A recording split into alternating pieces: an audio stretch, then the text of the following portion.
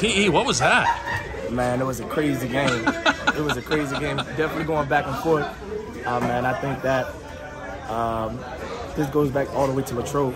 We were all together, all fighting with each other, all out there, just putting everything we got. Know that we were good competition every day. And then you saw it out there today. Everybody was doing for everyone. You know, you can talk about playing a physical game, and everybody does it every week. All 32 teams do it. Something else has to be going on for you guys to go out there and hit the way you were. What, what's going on?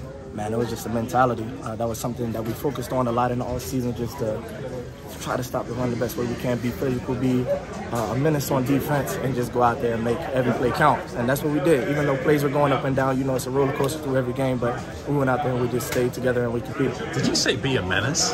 Yeah, be a menace That's a defense. great line. I'm You want to write this column for me? Tell me about Minkah. Man, Minkah, he, you got the bang for the buck.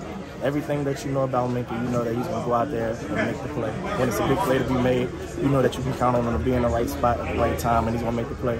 And man, uh, right before he blocked that kick, I was just like, man, everybody just go 110%. He looked me in my eyes and said, I got you. He blocked it. We were turning up after that. Can you can you keep this up without TJ? Man, that's the plan. Uh, it's always the next man up mentality, but you know, just uh, losing it, losing the defensive player of the year. Uh, I don't know how long or how severe it is, but uh, the next next man up, he's gonna have to deal with that pressure. Uh, but you know, a lot of guys are gonna be around him. We're all gonna be right there for him and trying to help him out the best way we can. You're the best, man.